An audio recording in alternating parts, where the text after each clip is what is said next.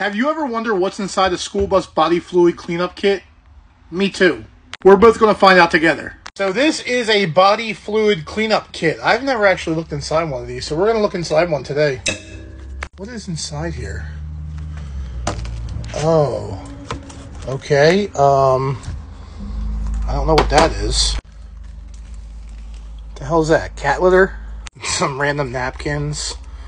A uh, biohazard bag. Pair of gloves, some zip ties, some alcohol wipies. I don't know what that is. Hmm.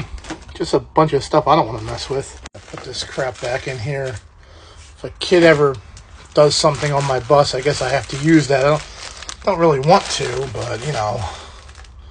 I'm just gonna put that back on there real quick. Uh, there we go. Yeah. Ugh. No thanks.